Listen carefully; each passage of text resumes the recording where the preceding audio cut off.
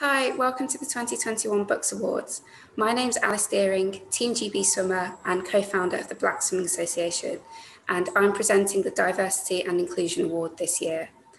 There have been some amazing efforts from many universities, which is why this shortlist is so spectacular this year.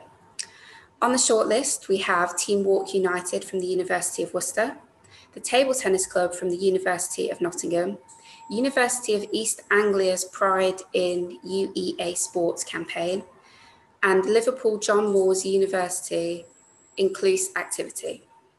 And the winner of the 2021 BUCS Diversity and Inclusion Award is Pride in UEA Sports from the University of East Anglia. This campaign gave members of the 52 sports clubs an opportunity to share their experiences of being LGBTQIA and being part of a sports club.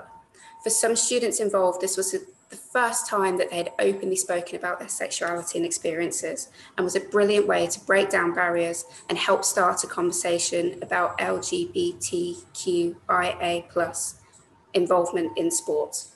Huge congratulations to the University of East Anglia and well done for all the other universities. Thank you.